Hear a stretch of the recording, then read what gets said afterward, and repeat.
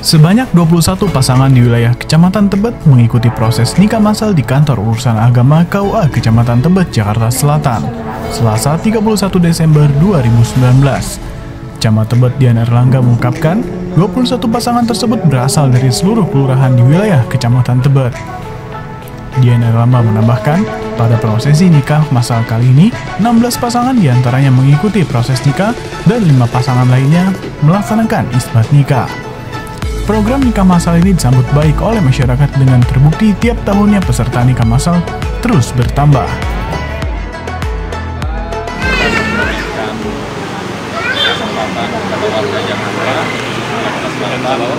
khususnya lagi di Kecamatan untuk melaksanakan masal dan. Kecamatan tahun 2019 ini ada 21 pasang, 16 yang nikah dan 5 yang isbat nikah.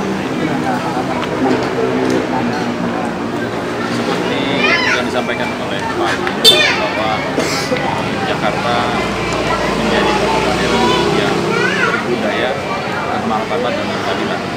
Dan ini merupakan salah satu upaya pemerintah DKI Jakarta untuk menjadikan Jakarta yang kota bermartabat dan memberikan keadilan kepada masyarakat untuk menikmati kemudian diberikan fasilitas oleh pemerintah DKI Jakarta dan bermartabat.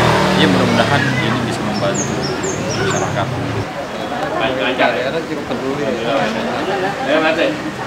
Om, om, om, bang. Saya pribadi mengucapkan terima kasih Apa? DKI fasilitasi Jadi izin. di kawasan Abang ada. Makanya Ya, ini adanya. lanjut terus dikit saya kabar Satu, ada satu pabrik. saya Betara Tim Liputan Kominfotik Jakarta Selatan melaporkan.